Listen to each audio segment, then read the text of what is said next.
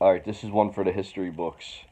Uh, classic Havertown story. Um, so this dude that we knew, he, you know, wanted one of our friends to watch his house while him and his parents went away, and um, man, he let the wrong guy watch his house, man.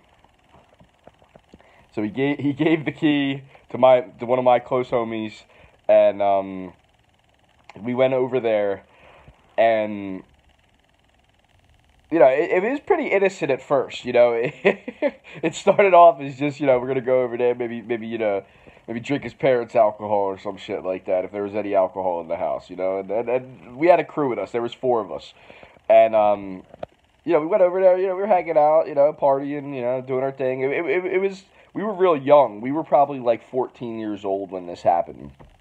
So it was like one of our first times drinking. I think it might have been my first time really ever drinking hard liquor, um, you know, vodka and all that kind of shit. So um, we're over there, and one of the kids that we were with starts puking, you know, um, and he he's he gets sick and he's just passed out. And the guy who was giving the key is like, "Yo, this dude's ruckus in the house. Like, what the fuck, dude? We gotta we gotta get him up, man. We gotta figure out like what we're gonna do here." And um, dude starts puking all over the rug and shit. It was just a real, it was a real nasty scene, and um, dude, you know, the dude who was watching the house was freaking the fuck out and was like, "Yo, you got to get up, dude. You got to get up." So he pulled out his dick and started pissing on the guy's head, and I could just see the piss running down his face.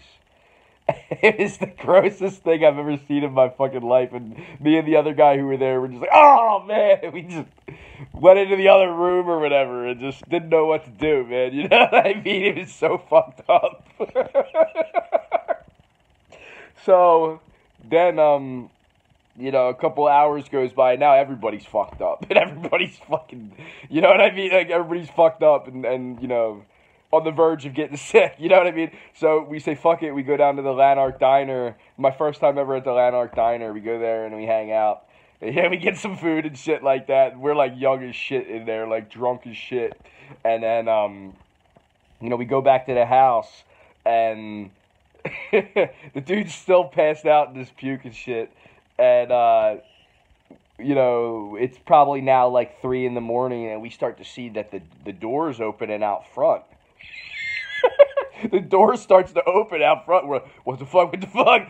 And we're looking around, holy shit! So me and the dude who's watching that, one of our friends already split. He was out, and uh, you know he, he he got out no problem. But me and the other dude who was who was still conscious, you know what I'm saying? Uh, uh we, we we had to leave the one bull behind, man and um, we ran out the back door as quick as we could. We looked at each other, oh shit, we just started running. And we ran all the way to Bailey and by the time we got to Bailey, uh, you know, the, the dudes whose house it was, his parents had called, uh, you know, one of our parents or whatever, you know, like uh, my buddy who was watching the house, and you know, he his his pops came down and caught us before we got home, but we almost got all the way home. Oh man.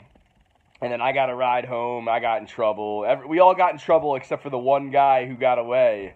And when he got away, man, it, it was like one of those we were happy that he was, you know, able to not get caught. but uh, it was a fucked up. It was a real fucked up scene, man. Like, don't ever let us watch your house. You know what I mean?